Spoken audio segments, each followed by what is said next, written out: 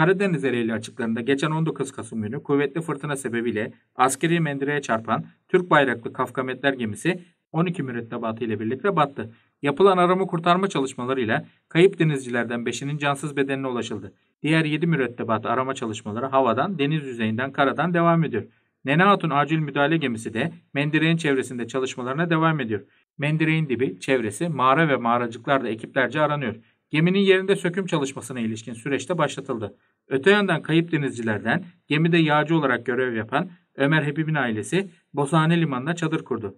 Pankart asan aile şehitlerimizi almadan gitmeyeceğiz diyerek ateş yakıp bekleyişini sürdürüyor. Ömer Hebib ile aynı adı taşıyan babası Ömer Hebib şöyle konuştu.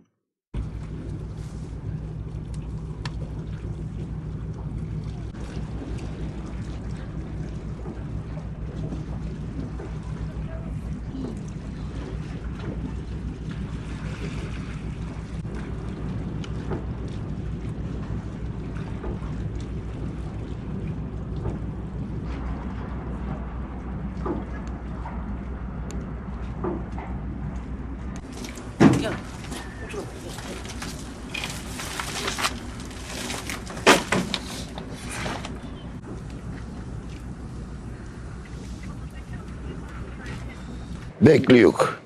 Çıkan adada bekleyeceğim. Buradan gitmiyor. Evet çadır koyduk geldik. Çatıda. Ha başka bir şeyimiz yok. Oğlumun bir an önce çıkmasını istiyor. Dediler çalışıyor. Dediler dünleri biz geldik işte.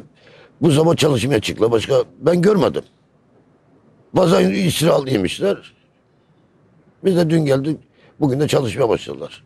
Çadır kurdunuz burada mı yaşamaya başladınız? Evet çadır koyduk burada yaşıyor. Çıkana kadar da bekliyorum. Oğlumun ölüsü çıkan adada burada bekleyeceğim. Hiçbir yere gitmiyor. Buradan görüyorum. Takip ediyorum. He, buradan takip ediyorum.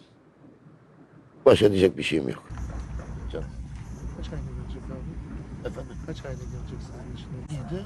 Şimdi gene gelecekler. Sizi normalde gönderdiler değil mi? Gönderdiler. Gönderdiler. Sonra siz tekrardan geri Bir geldiniz. kişi